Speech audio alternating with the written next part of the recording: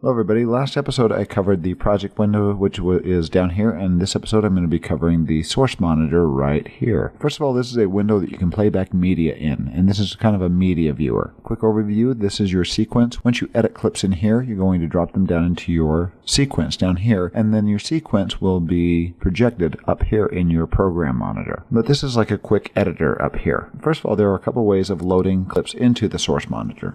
If we go down to the project window here, I'm going to hit tilde over this and go full screen so I can kind of look at one of these bins here. I'm going to hold down Option, double click on my card here, and it opens up card number two in its separate tab. I'm going to go to icon view and look at some clips here. And I'm going to grab this and go larger screen here.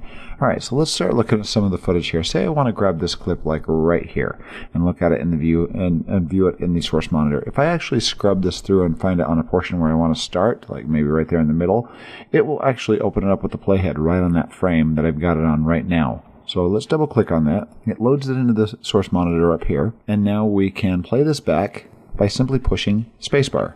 Spacebar is a play pause button. If I press spacebar again, it pauses. If I press spacebar, it plays and pauses. There we go. Now, a very core feature of this source monitor here is using the keys JKL. JKL is something that's used by pretty pretty much by professional editors around the world, and the keys are sequenced right next to each other. JKL, so you can put your three fingers right on the keys and easily control what you're viewing in this window.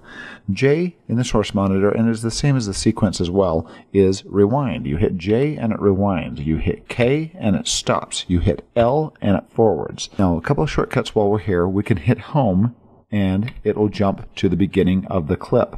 If you hit end, it jumps to the end of the clip. And those are actual keys on your keyboard, the home and the end key. Home takes you to the beginning, end takes you to the end of the clip. J rewinds, and here you can see the playhead moving backwards. K stops, L goes forward.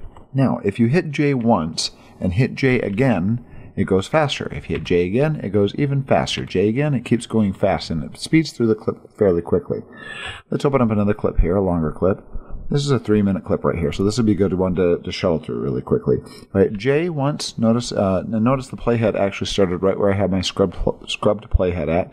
J again, J again, and again, and again, and again, and it goes faster and faster and faster, and K stops. Now L goes forward, hit L again, goes faster, hit it again, goes faster, faster, faster, faster, until it goes, uh, maxes out at its top speed. Let's go through some of the icons down here and explain what everything is here. First of all, this right here, let's go through this little thing. This is a zoom bar. If you want to zoom up to individual frames here, this is something they've kind of uh, changed for 2017. They've made this a little bit more functional where they have this little uh, dot right here and you grab this dot and you pull it to the right and notice it zooms in until you get so close that it shows individual frames here. And now as we hit our arrows left and right, left will jump through one frame at a time going backwards.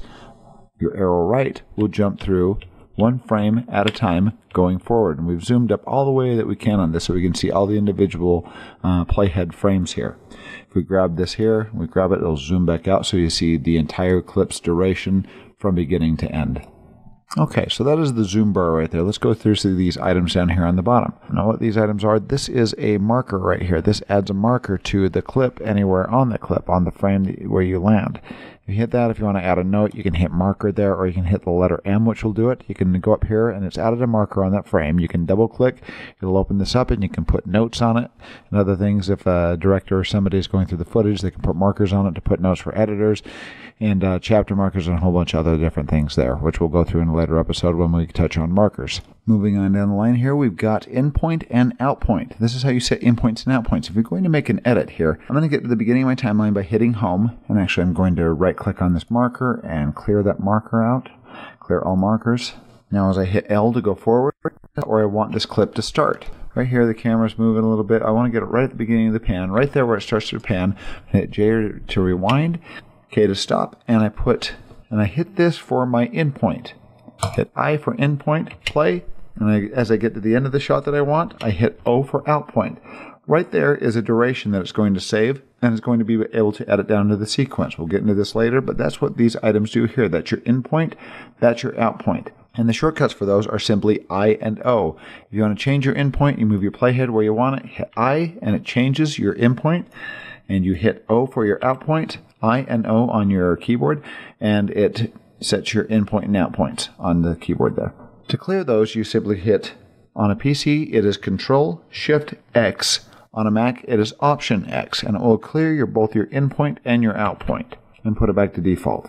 I'm going to undo Control Z or Command Z on a Mac, and here I'm going to show you the next little shortcuts are go to in point, go to out point. If you want these to jump to your in point and out point, you hit right here, and the shortcut is Shift I to jump to your in point, and Shift O for your out point. It'll jump to those points in your timeline. Also, once you've set in points and out points, you can hit your arrows up and down. Watch this. First of all, I'm going to hit home and go to the beginning. Now I'm going to hit arrow down. What that does is it jumps to the next edit point, which is my in point. You hit arrow down again and it jumps to the next point. Hit arrow down again and it jumps to the end. And same as if I hit arrow up, it goes backwards to the out point, to the in point, and to the home position. These are simply your step back one frame forward and step forward one frame as well. If you hit here, it goes Let's let me put this in the middle here somewhere. I'm going to hit Control Shift X and clear my in points and out points. And now I'm going to hit this little item right here, and it goes back one frame at a time. If I hit this one, it goes forward one frame at a time. And all you have to do for the shortcut is hit left arrow and right arrow. I never use these buttons down here because I use the shortcuts. So I hit arrow left, and it goes back one frame at a time. Arrow right goes forward one frame at a time. By the way, a little shortcut here is if you hit shift and arrow left, it jumps five frames at a time while you're holding shift and shift right and shift arrow right will jump forward five frames at a time. So just the arrow does one frame at a time, shift arrows does five frames at a time. And this is simply a play right here. We will get into these in a future episode, but this is you basically insert edit once you've done an in point and an out point, and you hit this, it will insert edit it to your timeline. Insert edit it shoves everything down and inserts your clip. Overwrite right here will overwrite anything in the playhead's path, and it will lay the edit down to your sequence. And your shortcuts for that is comma and period. This right here is export frame. Export the frame of the playhead. You just export it to a bitmap or a JPEG or different formats here. And you can hit browse and find the location. Then you can save it and you can name it up here and save out a still image. And it will save it as a resolution of the original video clip uh, to a still image. This here is not there by default. This is toggle proxies. We'll go over this in a future episode as well. And this is your button editor down here. Your button editor, as you click on that, it will allow you to add certain things. And I have added my proxy item right here. I've dragged that down, added my proxy item right there. And we'll go through that later on. I'll have an episode specifically on proxy editing. Okay, up here we've got, this is the time code of the video that we're on. And this is the time code that the camera has generated.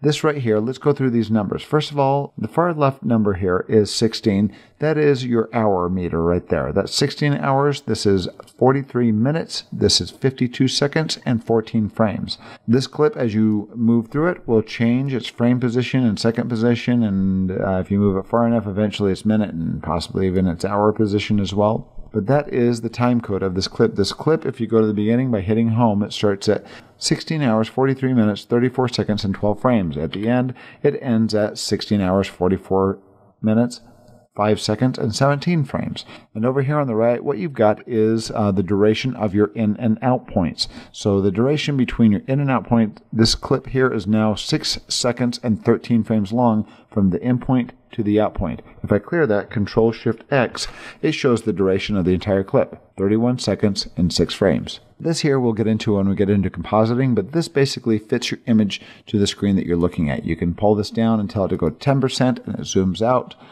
You can go 200% and it zooms in, and then you have these little scroll bars to kind of look at the image here.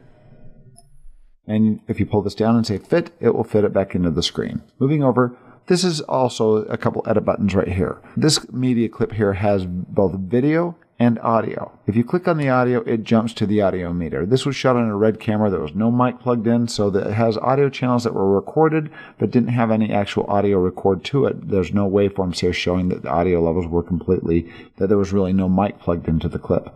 If I hit video, it jumps back to the video. You can also use these to grab your in and out point and you drag it down into your timeline. If you grab this, it will just grab the audio and drag it down into your timeline. We'll go over that in a future episode as well as we start getting into editing. If you are working with high resolution footage, this little drop down menu right here will allow this clip to play back uh, quicker and easier if you're on a, a system that doesn't that does not play back the full quality footage very well. Right now it is playing back at full quality. However, I have the proxy button toggled right now, so it's actually accessing the proxy. If I turn that off and I try to play this footage at full quality, this is 5K footage here. If I play this back, eventually it's going to start strobing and dropping frames and it's going to have issues processing all this footage at the same time. So what you can do here, especially if you're working with like 4K or 5K RED footage, you can pull this and drop, you can drop this menu down and hit, let's play this back at one quarter the resolution. Since it's playing in a smaller window, it really won't matter that it's only in one quarter of the resolution. It's just it is dropping down the resolution just for just for the sake of playing back the clip at real time. And then when you drop it in your timelines or editing, it's actually referencing the full quality footage and you will not lose quality. It's just doing this for your edit. If I press play, this will play back a lot better at one quarter resolution than it will at full resolution. Over here on the right, you have source monitor settings. If I click on this, it'll bring up a bunch of options to show here. Uh, we can tell it to show our audio waveform, our alpha channel, and composite video is the standard. It shows the composite video right here. We'll show instances of these things here when we get into multi-camera editing and other things as well. We got the playback resolution, which is actually this drop-down window right here. Pause resolution is pretty much always at full. You can leave it at full. It renders that the full quality clip when you pause have other items like loop. If you hit loop, when it hits the end of the clip, it'll go back to the beginning of the clip and just keep playing and playing and playing forever. Transport controls check marks is just these items down here. And you have other items that you can tell it to show or not show by check marking them or unchecking them here. Such as safe margins, if we check mark that, you notice you get safe margins for title safe and action safe. I'm going to turn that off right now. One other item you have are these overlays. You can tell it to display time code by turning on your overlays here. And you can go under these settings here and go under overlay settings and do a custom overlay or under settings and tell it exactly what you want it to display on screen. So I'm going to turn my overlays off right now. And last thing in the source monitor I'm going to cover is this little drop down menu right here. If we click on this, you will have the same options that you see down in the other menu, little menu drop downs here, where you can close that panel, you can undock the panel, you can close other panels in this group, and a group is considered all these other items right here. I'm not going to really go through these items right here today, but we'll go through this in a future episode with effect controls, audio clip mixer, and the metadata. We'll cover those in a future episode. But right now, that is a quick overview of what the source monitor is used for. And this, once again, is used for a basic editor to basically set your in points and out points and shorten a clip down to the portion that you need to drop down into your timeline and uh, edit the movie the way you want it to be edited. Next episode, we'll go over the timeline window, or what can also be considered the sequence window.